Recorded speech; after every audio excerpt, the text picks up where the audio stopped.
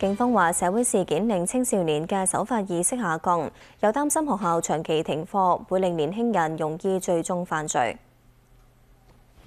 屯門警區喺舊年全年錄得二千八百八十七宗罪案，較前一年少六十五宗。而舊年下半年較前年同期罪案數字則上升百分之九點四。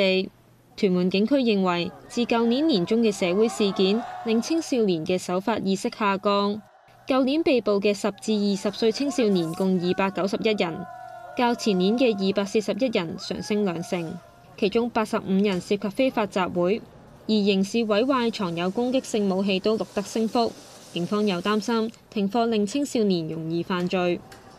亦都係因為而家最近疫情嘅影響咧，好多學生唔需要返學，咁佢哋就會誒出街，亦都會大家聚埋一齊。當佢哋聚埋一齊咧，有時佢哋會夠膽去做一啲犯法嘅行為，亦都可能受到一啲非法分子即係不法分子嘅影響，佢哋會係即係引誘佢哋。去做一啲犯法嘅事情。而根據屯門警區數字，今年頭兩個月被捕嘅青少年有九十六人，少過舊年同期嘅一百三十人。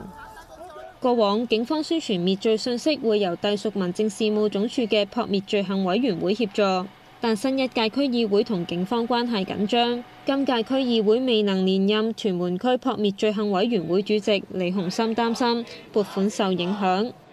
當然我哋好想。繼續有呢個資源去做，但係如果唔係嗰個規範可以區議會係改變嘅話咧，咁我哋要透過唔同嘅政府部門咧，去即係話去要求佢提供呢啲咁嘅誒資源贊助，去繼續去推動。